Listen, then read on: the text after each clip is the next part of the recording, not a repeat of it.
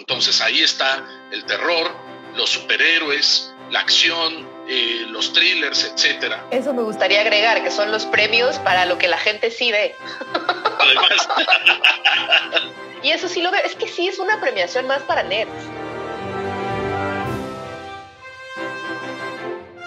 Qué divertido sería increíble que los nominados fueran en personaje. Fueran en personaje.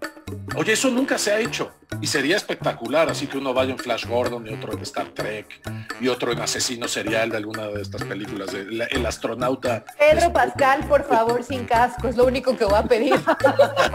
Carita hermosa, bien este, preciosa. Sería muy divertido. Al menos, al menos que los conductores cuando estén presentando los diferentes segmentos o categorías puedan cambiar, puedan cambiar un poco de vestuario. Ahora, también eso quizá, no, no es que esta premiación no tenga seriedad, es una premiación más desenfadada, pero tampoco es como, no sé, algunas premiaciones de, de canales de videos, etcétera, que son verdaderamente desenfadadas y desmadrosas, etcétera.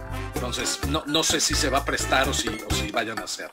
A lo mejor se me ocurre ahora que lo mencionas, no lo había ni pensado, pero quizá algún saludo, algún guiño por ahí, alguna referencia a los personajes en el vestuario podría estar interesante.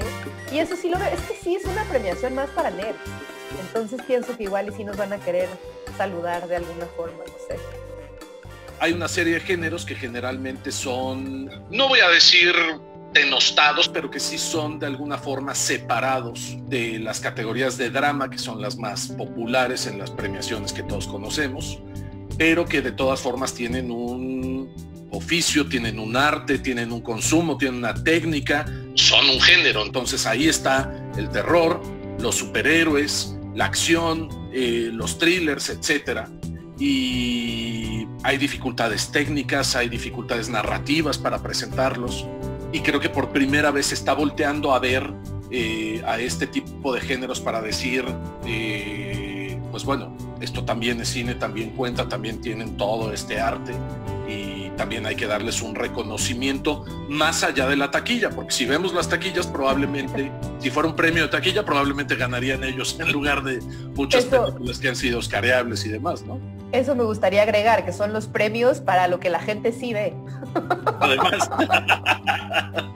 o a lo que la gente, lo que la gente más ve o más consume.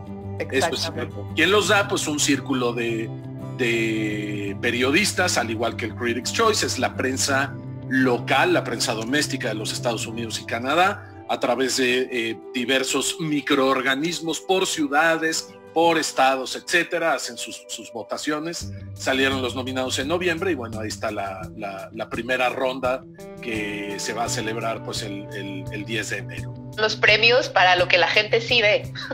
Además.